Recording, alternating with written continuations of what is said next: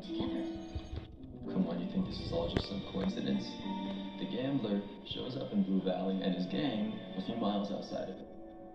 Bad guys like the gambler never really change now, do they? This should all be done in about an hour. You know, this is beyond boring. Call me when something exciting happens, okay? Cindy,